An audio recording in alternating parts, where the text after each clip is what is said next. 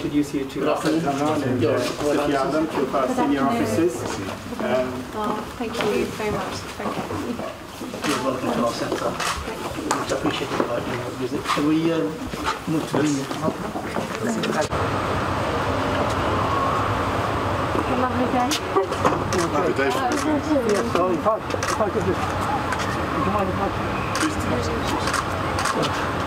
hot. So basically, this is, as you can see, the dome and the minaret. That's the main mosque uh, close to the public. We had our staff and volunteers stationed here, but on the phone, Zoom, you know, company Zoom, so. so yeah. Did so- you continue prayer and things like that on, online? Was Yeah. it something you were able to do? Yeah. Yes, we did. So during Ramadan, that was a unique Ramadan that we had.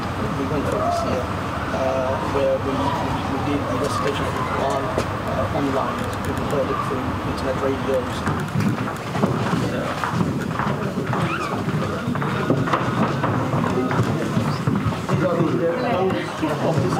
free supplies for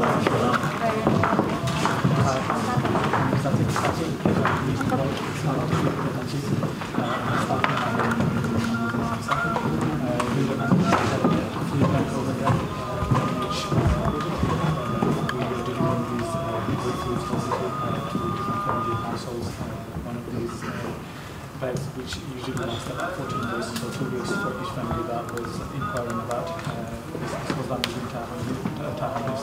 In addition to the food bank, we also had a uh, hot, hot food uh, deliveries that were, we were delivering across the road to the hospital, so on average about uh, 8,000 of food just delivered.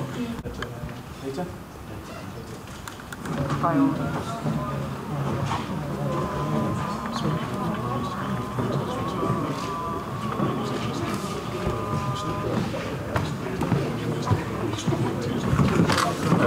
No surprise. You recognise It's only a place I've been that my father hasn't been.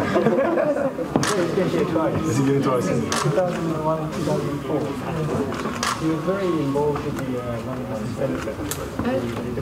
There is a, a letter of support as well. Yes. Do? Yes, for the London Muslim Center. In fact, we, we also had a visit by Prince as well in 2017. Uh, and uh, Her Majesty also mentioned it in her Western Nation in 2004